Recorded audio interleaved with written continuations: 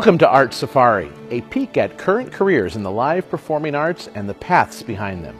My name is Brian Asher Alhadeff, and it's my pleasure to be your guide behind the curtain. Welcome to the magical world of the conductor, often referred to as the maestro, music director, and artistic director. Conductors are primarily responsible for keeping the beat of the whole group, creating the overall musical interpretation of a production, and teaching that interpretation to the musicians and performers of the show. Conductors are needed for symphony concerts, operas, ballets, musicals, bands, and chorus, which each require their own unique shifting of leadership skills. Meet Brian Asher Al General and Artistic Director of Opera San Luis Obispo. Dubbed Maestro of the Central Coast by 805 Magazine, Brian is also the Artistic Director of the Lompoc Pops Orchestra and Principal Conductor of Civic Ballet San Luis Obispo and State Street Ballet Santa Barbara. My name is Brian Asher Alhadeff. I'm originally from Southern California and I've been conducting since about the mid 1990s. When I first started off in my early 20s, people would often ask, What kind of a conductor you want to be? And I used to say, Whatever genre opens its doors to me first, I'll be happy to make a career in. But now, looking back more than 40 years, my answer was really a prayer to the universe. Please let me have a professional career in every genre that I love. These days, I'm blessed to have a very rich career in opera, in ballet, in musical theater, and symphonic pops. Those are my four favorite places to express myself musically. That's where I feel I can make a difference more than anywhere else uh, artistically.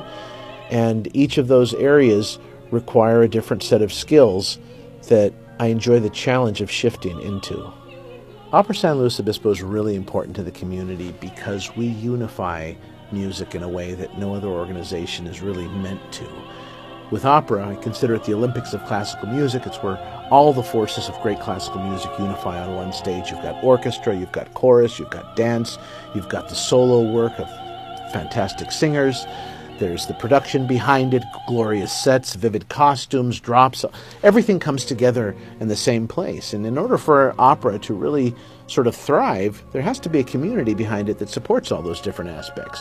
And when you have an opera company that can unify the community of arts within it, we're showing our town, we're showing people who, who visit us, this is what San Luis Obispo is behind this, the curtain of arts. When we're in the middle of full production, days are crazy. We have three blocks of rehearsal time, each of which is three hours. We have about a two hour break in between each. Uh, during those breaks, I'm usually meeting with someone from the staff, either the stage manager, lighting designer, the director. The daytime rehearsals are usually spent with leads and piano rehearsals. Evening rehearsals usually involve the full orchestra and a larger company uh, surrounding that. When you have a team that's concerned about the whole product in which everybody is helping, then it's definitely a supportive environment. I'm always looking for someone that's right there ready to help, whatever that may be. I started off the assistant conductor to many conductors, and uh, I've done everything in the in the house. There's no aspect of the company that I haven't been part of, and so it brings me back to the team player is someone that is so in love with the whole process, they're willing to do any part of the process where they're needed. A lot of my challenge has to do with having a strong game plan, being able to seamlessly transition a company from piano rehearsals to full orchestra rehearsals, being part of a team that seamlessly transitions a company that's in a, a rehearsal hall to a fully functional modern opera house. You have to have a big picture idea that's organized in such a way that that can all come together.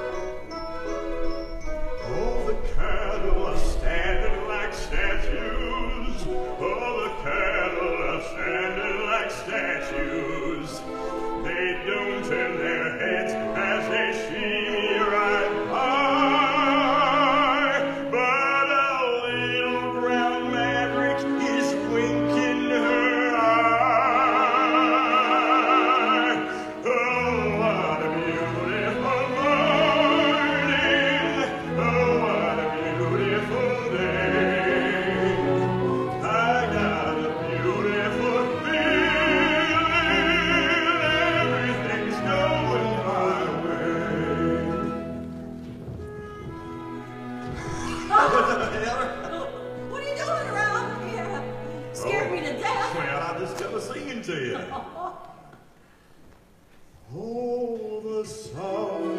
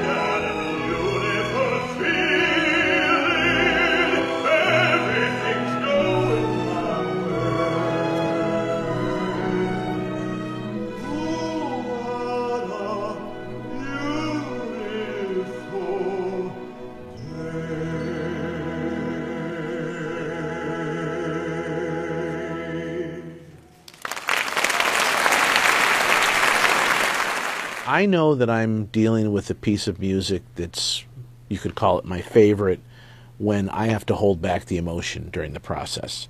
And so I've had that experience when I conducted Cavalleria Rusticana and Pagliacci. Uh, those pieces deal with a variety of very intense emotions, and the music that underscores those emotions touches me in a way that feels like it's real. When I'm with the Pops Orchestra, I had that experience when I conducted the suite from Shane with the Lompoc Pops, and there's just something about that whole genre of music, that golden age of the theater, and especially Victor Young's music, the way that he wrote for the strings, the way string players played music in the 1950s with beautiful swells and glissandi and portamenti that just touch me in a way that I have to hold back, otherwise I'm going to lose my cool in front of the orchestra.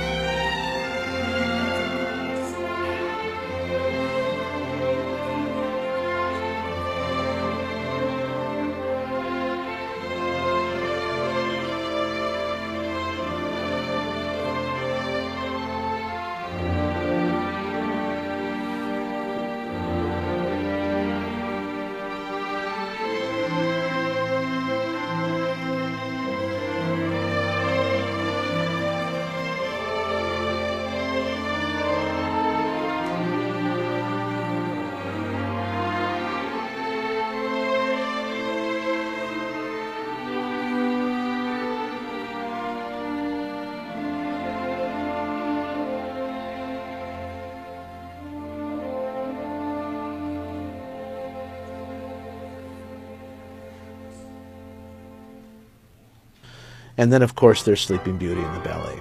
The way Sleeping Beauty opens, the the violence in that music, and how it forecasts in just 30 seconds what you're going to experience over the next three hours, is just the way I feel like I'm going to experience it. It grabs hold of me by the collar and says, "We're going through this now." One little trick that I've uh, developed, especially in ballet, is I use a metronome when we have different uh, dancers. In, in conducting ballet, sometimes I have four or five different dancers that I have to match a beat to.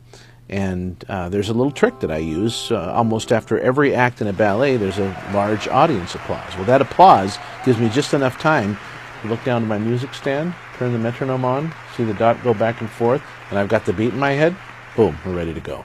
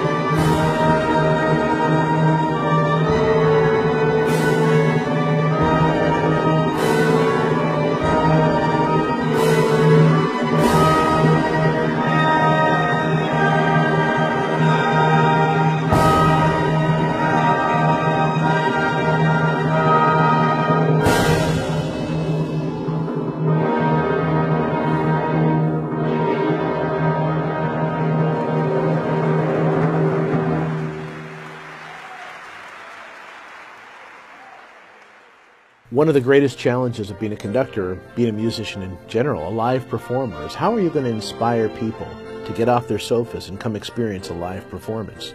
Especially in the time we live in now where there's dozens of streaming apps. We have every child has a, some sort of a screen in, the, in front of their face. There's gaming apps. Even exercising has gone virtual.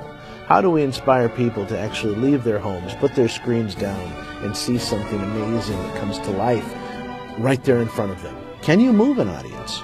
That's what really comes down to.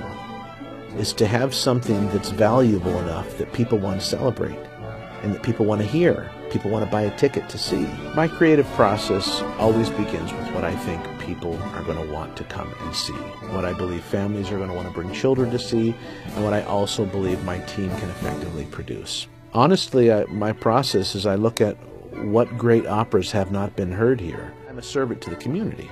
I don't feel that my job in the production is to educate the audience. I feel it's to take them out of their reality and give them a good time and develop meaningful lifelong memories. It's my goal that folks leave the opera saying years later, remember when we saw La Boheme at Opera SLO? Remember when we saw Sleeping Beauty at the Granada Theater? Remember when we experienced Nutcracker with full orchestra? If that happens, I feel like I'm doing a service to the community.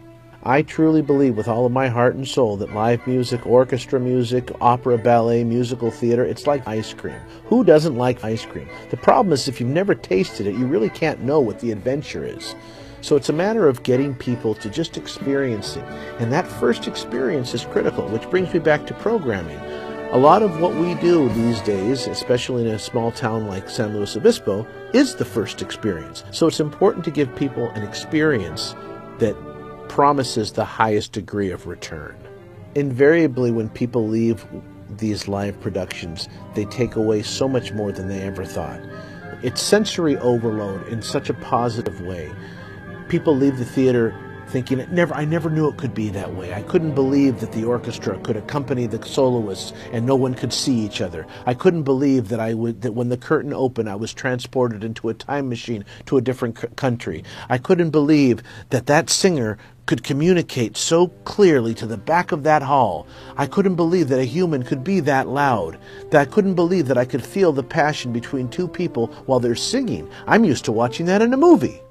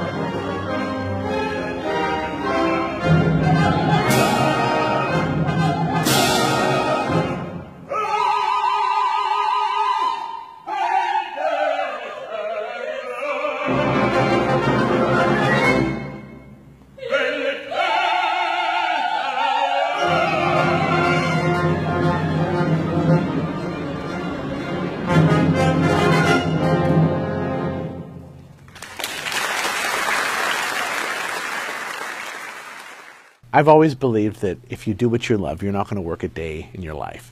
And I feel that way passionately about Opera San Luis Obispo. Here, I'm given the opportunity to produce grand operas, grand musicals, ballets.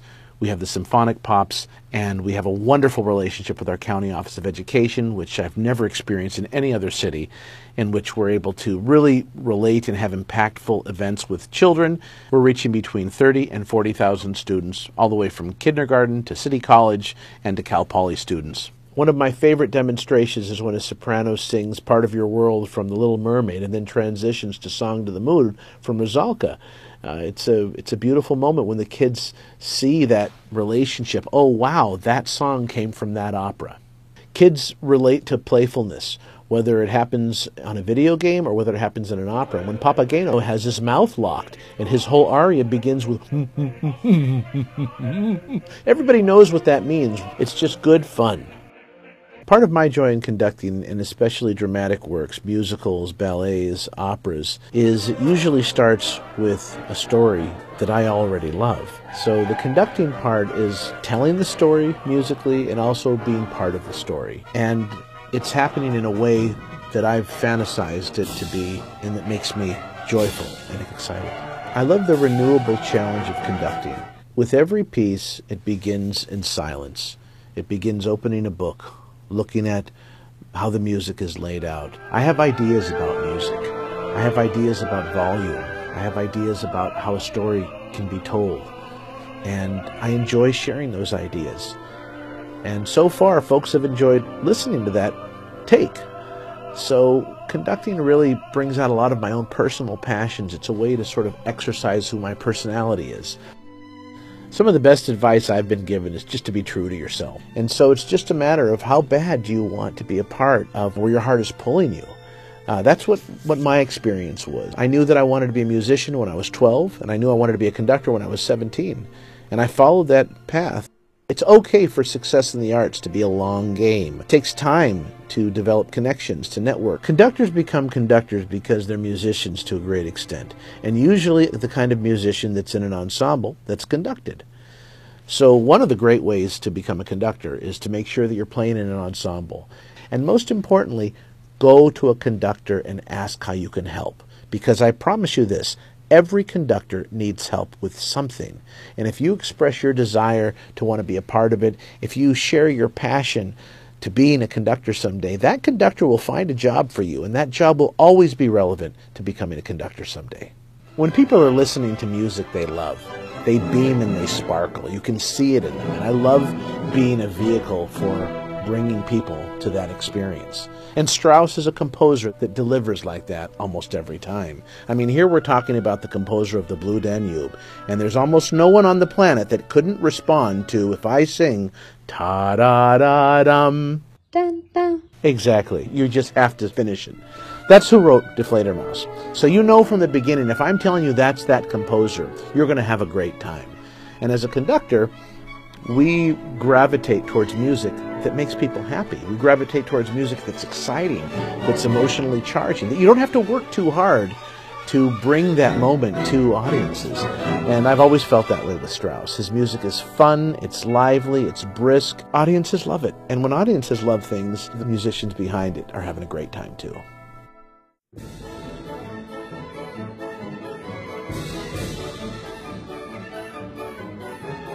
Thank you for watching this episode of Arts Safari, sponsored by the San Luis Obispo County Office of Education and generous patrons like you. It's been thrilling to be your guide. Now remember, attend and support live performing arts in your county. Please help us continue to offer free programming like this by making a donation of any size at these websites.